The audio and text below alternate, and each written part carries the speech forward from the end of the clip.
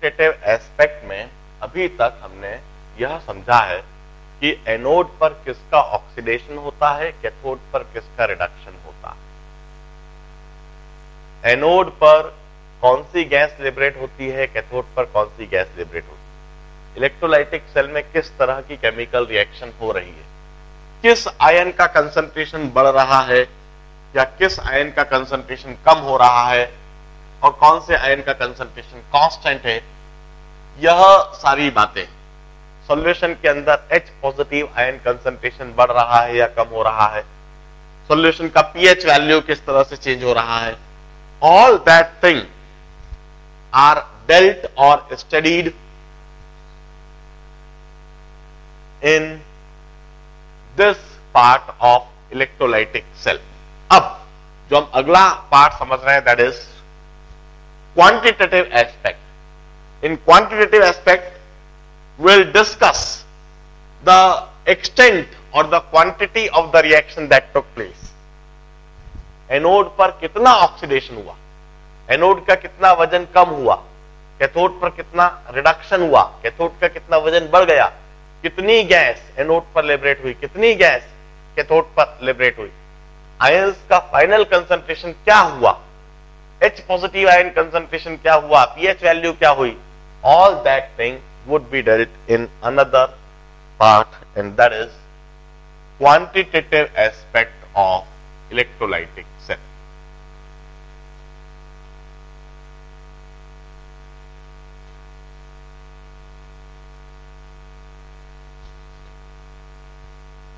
अब quantitative aspect समझाने से पहले मैं आपको इक्वलेंट कंसेप्ट समझाऊँगा।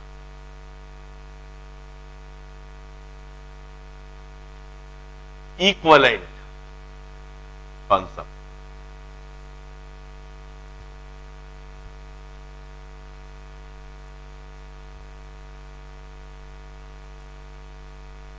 देखिए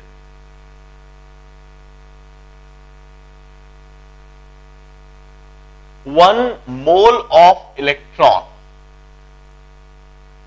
One mole of electron. That is Avogadro's number of electron n electrons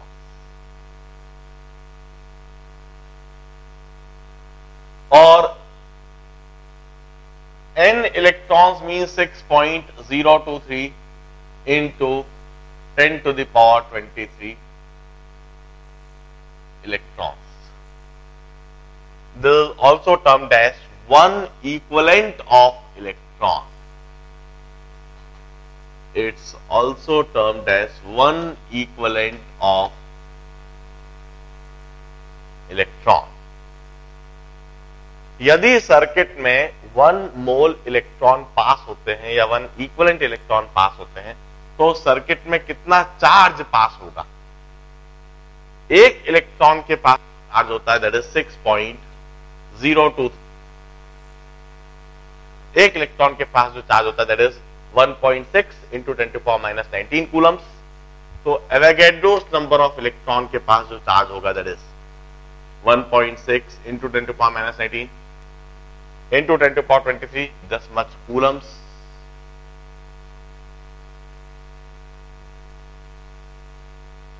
यदि कभी भी किसी सर्किट में या किसी सेल में एक मोल इलेक्ट्रॉन यदि ट्रांसफ़र होते हैं मतलब Avogadro's number of electron transfer होते हैं मतलब 6.023 point zero two three into twenty electron transfer होते हैं that much number of electron is termed as one equivalent of electron and that one equivalent of electron would carry this much charge number of electron into charge on each electron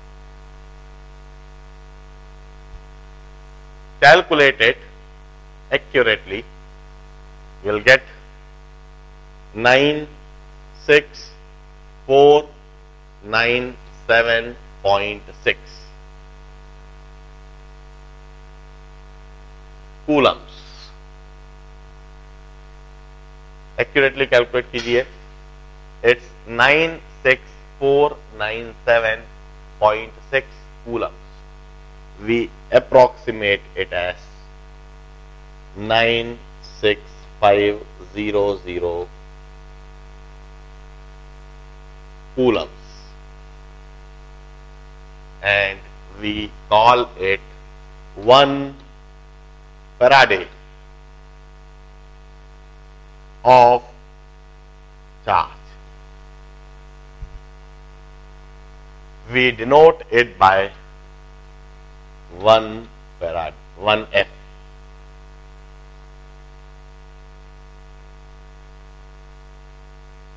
सबसे पहले इस बात को हम note down कर लें। एक मोल electron को ही हम एक इक्वलेंट इलेक्ट्रॉन कहते हैं। और एक मोल इलेक्ट्रॉन में हमेशा Avogadro's number of moles of electron होंगे। Point two three into ten to power twenty three electron होंगे। इतने इलेक्ट्रॉन यदि सर्किट में पास हो तो सर्किट में जो टोटल चार्ज फ्लो होगा that is number of electron into charge on each electron इसी समय रफली कैलकुलेट करके देख सकते हैं six into one point six it's nine point six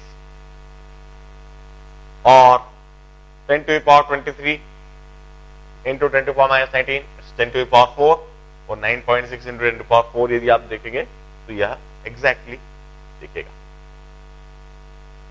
इसको अप्रोक्सीमेट करते हैं 96500 कूलम इसी को हम कहते हैं वन फराडे ऑफ़ चार्ज हम कहते हैं whenever one faraday of charge flow into the circuit nine six five zero coulombs charge flow into the circuit and during that situation one mole of electron flow into the circuit We used to conceptualize equivalent weight.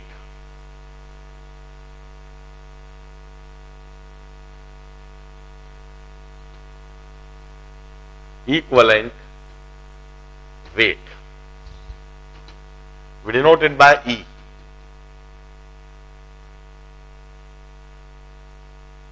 Equivalent weight is weight of substance that transfer. One equivalent of electron. Equivalent weight is that weight which transfer one equivalent of electron. Or 1 mole of H positive ion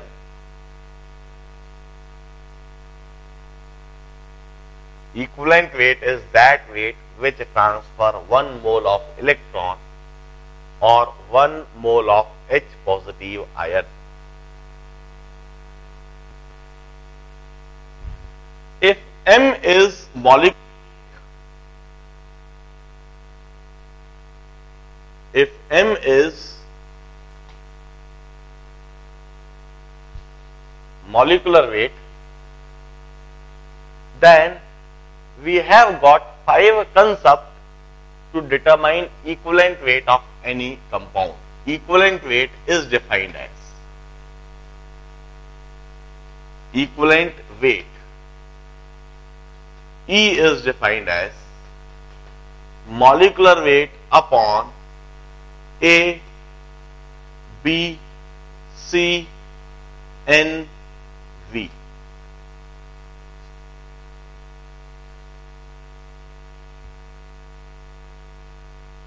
यदि किसी compound का molecular weight M है तो उसका equivalent weight determine करने के लिए पाँच अलग अलग कंसेप्ट है। Equivalent weight is molecular weight upon A B C N V this five different alphabets denote five different concept to determine equivalent weight A stand for acidity of any base B stands for basicity of any acid. And C stands for change in oxidation state. N stands for number of electron transferred and V stands for valency. मैं समझाता हूं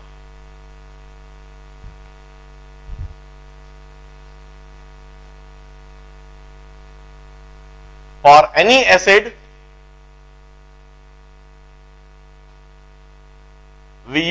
define a term called basicity. How do we define basicity? The number of H positive ion that the acid releases or the number of hydroxyl ion with which the acid combines. That is termed as basicity. Equivalent weight of acid is defined as its molecular weight upon its basicity. This B is basicity of यदि हम HCl की बात करें for HCl HCl releases one H positive ion HCl combines with one hydroxyl ion its basicity is 1 its equivalent weight is 36.5 upon 1 while for H2SO4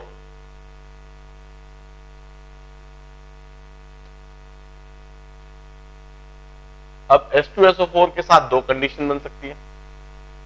किसी reaction में H2SO4 एक ही H positive ion release करता है, और कुछ ऐसी भी रिएक्शन होती है जहाँ H2SO4 दो H पॉजिटिव आयन रिलीज़ कर रहा है। मैं दिखाता हूँ। H2SO4 यदि एक NaOH के साथ कंबाइन करे तो NaHSO4 प्लस H2O देगा और ये H2SO4 यदि दो NaOH के साथ कंबाइन कर जाए तो Na2SO4 ट्वाइस H2O देगा Observe the two reaction. Here H2SO4 is combining with one hydroxyl ion and releasing one H positive ion. इधर H2SO4 एक हाइड्रोक्सिल आयन के साथ कंबाइन कर रहा है और एक H पॉजिटिव आयन रिलीज़ कर रहा है in this situation basicity of H2SO4 is one H2SO4 की बेसिसिटी इस रिएक्शन में वन है तो equivalent weight would be its molecular weight 98 upon 1. While in this situation, H2SO4 is combining with two hydroxyl ion. H2SO4 दो hydroxyl ion के साथ में combine कर रहा है और दो H पॉजिटिव आयन रिलीज़ कर रहा है its basicity here is two equivalent weight is molecular weight upon basicity 98 upon observe the two situation एक ही एसिड है H2SO4 मॉलिकुलर वेट तो इसका फिक्स है 98 कोई सी भी रिएक्शन हो, चाहे यह रिएक्शन हो, चाहे यह रिएक्शन मगर दो अलग अलग रिएक्शन में इसका इक्वलेंट वेट अलग अलग हो गया। इस रिएक्शन में इक्वलेंट वेट 98 कह रहे हैं और इस रिएक्शन में इक्वलेंट वेट 49 कहेंगे।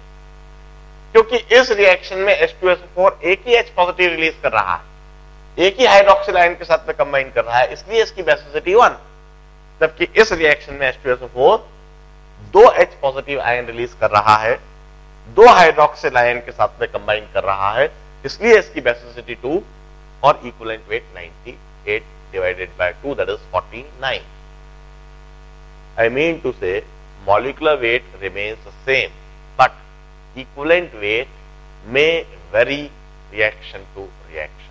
एक ही एसिड का दो अलग अलग रिएक्शन में अलग अलग इक्वलेंट वेट हो सकता है। मैं एक और इंटरेस्टिंग सिचुएशन बताता हूँ। द एसिड्स ऑफ़ फॉस्फोरस मैं फॉस्फोरस की एसिड्स की बात करूँ। फॉस्फोरस के तीन एसिड्स हम जानते हैं। एक तो H3 PO2 और एक S3 PO3 और एक H three PO four three acids of H3 PO4 These are the three acids of phosphorus S3PO2, S3PO3 and S3PO4. Phosphorus के इन एसिड्स का एक जनरलाइज स्ट्रक्चर होता है पी डबल बॉन्ड ओ और तीन इस तरह के single bond P double bond O और इधर भी पी डबल बॉन्ड ओ एक जनरलाइज्ड है पी डबल बॉन्ड ओ अब S3PO2 में एक हाइड्रोजन ऑक्सीजन के थ्रो लगा है और दो हाइड्रोजन डायरेक्टली लगे हुए होते S3PO3 में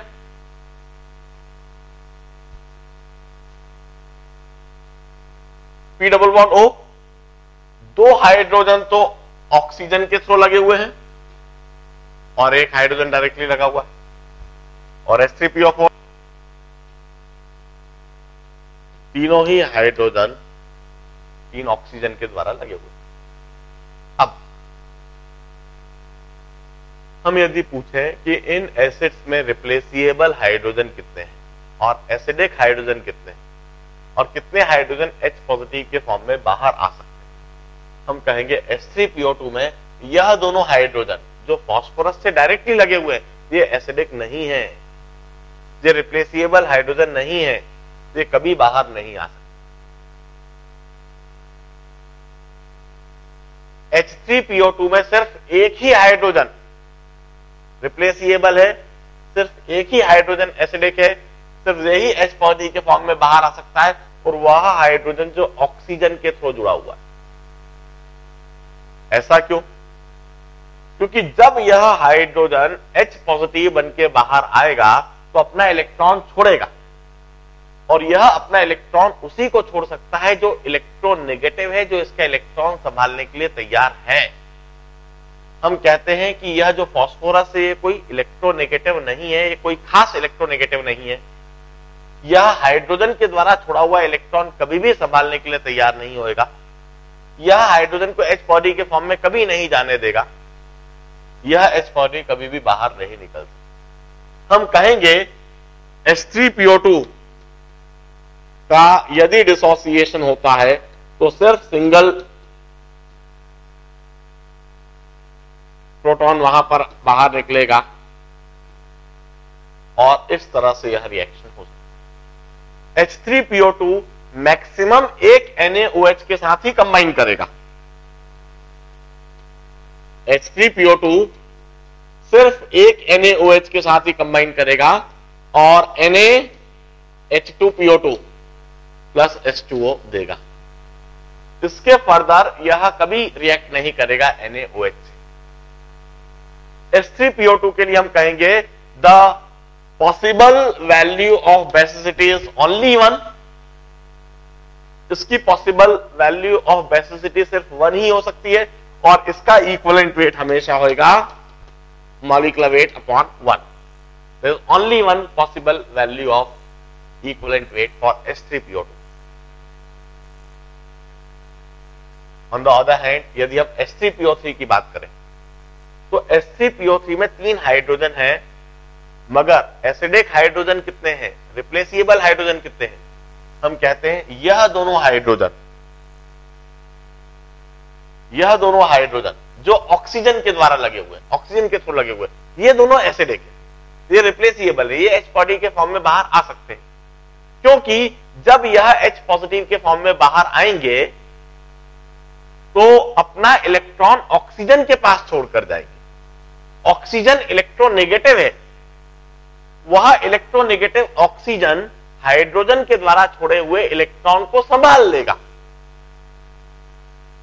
उसकी इलेक्ट्रॉन को एक्वायर करने की टेंडेंसी है, मगर यह हाइड्रोजन जो डायरेक्टली फॉस्फोरस से लगा हुआ है, यह एसिडिक हाइड्रोजन नहीं है, यह रिप्लेसिएबल हाइड्रोजन नहीं है, यह एच पॉजिटिव के फॉर्म में कभी भी बाहर नहीं आ सकता। H3PO3 की बेसिसिटी या तो वन हो सकती है या टू हो सकती है। थ्री कभी नहीं हो सकती। यह H3PO3 एक NaOH से भी रिएक्ट कर सकता है और देगा NaH2PO3 प्लस H2O और यह फर्दर, यदि इसमें थोड़ा ज़्यादा NaOH डाला जाए तो दो NaOH के साथ भी कंबाइन कर लेगा। और NaH PO3 दे देगा विथ with twice H2O मगर, यदि आपने NaOH डाला तो वहाँ कोई रिएक्शन नहीं होगी। यहाँ पर मैक्सिमम दो ही प्रोटॉन बाहर निकल सकते हैं, तीसरा ये हाइड्रोजन बाहर नहीं निकल यदि रिएक्शन यह होती है, इस केस में हम कहते हैं कि H3PO3 ने एक एच पॉजिटिव आयन रिलीज़ करा है। या फिर यह कह दो H3PO3 ने एक हाइड्रोक्सिल आयन के साथ में कंबाइन करा। इस सिचुएशन में हम कहेंगे कि इसकी बेसिसिटी वन है। और इक्वलेंट वेट होगा its molecular weight upon one M dash its मॉलिक M हम इसके लिए लिख दिए। Its molecular weight is M dash upon one M dash equivalent weight would be M dash upon while in this situation in this situation we use to say that H three P three had release two protons two H positive ion H3PO3 ने दो H positive ion release करे और दो hydroxyl ion के साथ में combine करा है। Its basicity in this situation is two its equivalent weight is m dash upon two this is equivalent weight of H3PO3 once again molecular weight तो बिल्कुल फिक्स मॉलिकुलर वेट दोनों case में M dash मगर equivalent weight M dash upon one और M dash upon two we have got two possible values of equivalent weight in this situation why for H three PO four observe this situation for H three PO four we use to say all this three hydrogens are acidic hydrogen. All these three hydrogens are replaceable hydrogen. They may be released in the form of H positive ion. क्योंकि ये तीनों ही hydrogen oxygen से लगे हुए और तीनों ही hydrogen अपने अपने इलेक्ट्रॉन को ऑक्सीजन के पास छोड़कर जा सकते हैं हम कहेंगे S3PO4 सिर्फ़ एक प्रोटॉन यदि रिलीज़ करता है और S2PO4 टू निगेटिव बनाता है। In this situation its basicity is one equivalent weight is m double dash upon 1 और यदि H3PO4 दो प्रोटॉन रिलीज़ कर देता है और H PO four two negative बना लेता है। इन दैट केस इसकी बेसिसिटी हम कहेंगे इट्स टू और इसका इक्वलेंट वेट हम कहेंगे M double dash upon two और आपने ढेर सारा बेस डाल दिया और ढेर सारे बेस के डालने पर H3PO4 ने अपने तीनों ही प्रोटॉन को रिलीज़ कर दिया और बना लिया PO4 थ्री नेगेटिव तो हम कहेंगे इस केस में बेसिसिटी थ्री है इक्वलेंट वेट होगा m double dash upon 3.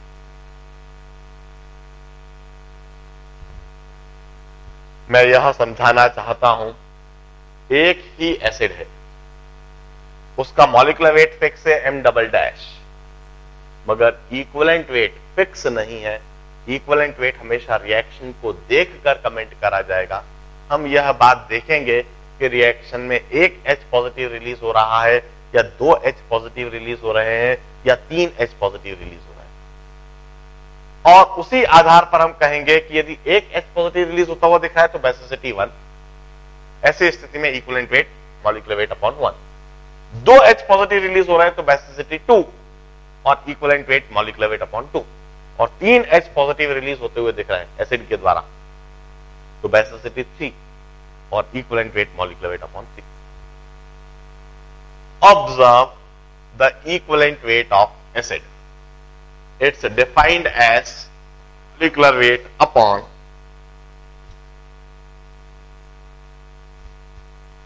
basicity इसी तरह से बेस के लिए हम कंसेप्ट डिफाइन करते हैं। For base we use to conceptualize acidity acidity base के लिए हम कंसेप्चुलाइज करते हैं acidity how do we define it acidity is defined as number of hydroxyl ion that the base releases और the number of H positive ion with which the base combine base जितने hydroxyl ion release करे, या फिर जितने H positive ion के साथ में combine करे. That is termed as its acidity for example यदि हम NaOH की बात करें. NaOH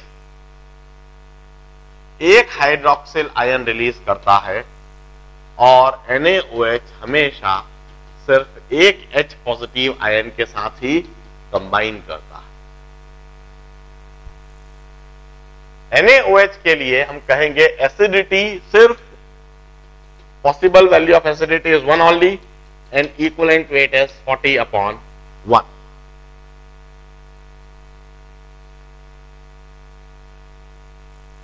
Here A denotes acidity of base.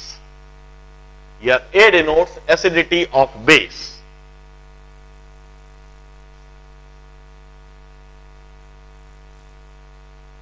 For example यदि हम मैग्नीशियम हाइड्रोक्साइड की बात करें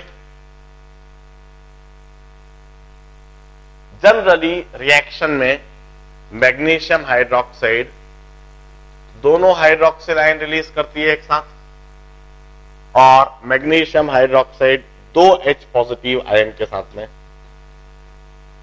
कंबाइन करके M G C L two plus 5s2 the general behavior of magnesium hydroxide. Magnesium hydroxide के लिए आप एसिडिटी हमेशा टू कहते हो जनरली इसके साथ ऐसा कम ही होता है कि सिर्फ़ एक हाइड्रोक्सिल आयन रिलीज़ हो रहा दोनों हाइड्रोक्सिल आयन एक साथ रिलीज़ होंगे जनरली एसिडिटी इसकी two equivalent weight would be molecular weight upon two जैसे ammonia ammonia is also a base ammonia एक बेस है। और हम अच्छी तरह से जानते हैं अमोनिया हमेशा सिर्फ़ एक एच पॉजिटिव आयन के साथ में कंबाइन करके अमोनियम आयन बनाती है। Ammonia always combine with one H positive ion only and it forms ammonia ion ammonia के लिए एसिडिटी हमेशा वन कही जाएगी इक्वल एंड वेट हमेशा 17 upon one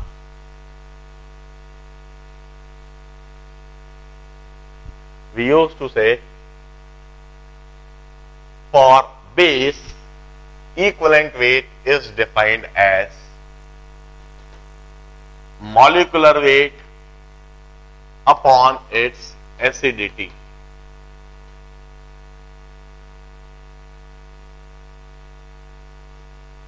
Molecular weight upon its acidity. This would be the equivalent weight of any base.